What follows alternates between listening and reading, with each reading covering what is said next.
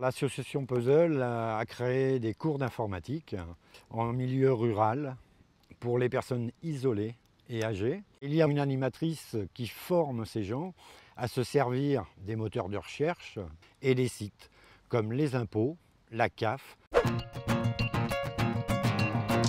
Cette association me tient à cœur parce que je l'ai vu naître. Ça nous a permis d'apprendre à certaines personnes à se servir de plein de logiciels. Vous prenez par exemple un grand-père, une grand-mère qui veut parler à ses enfants, ses petits-enfants, de se servir de Skype ou Facebook. Et on va prendre un exemple tout simple. Moi qui suis agent SNCF, la carte famille nombreuse, il faut aller sur Internet. Et dans le monde rural, il y a beaucoup de familles avec plus de trois enfants. Donc, ça permet de les aider aussi à faire le dossier.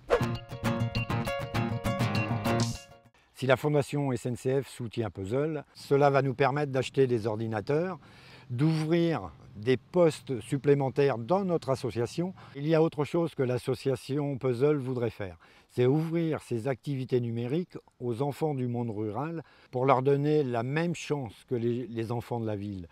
C'est une question d'égalité pour leur future vie active.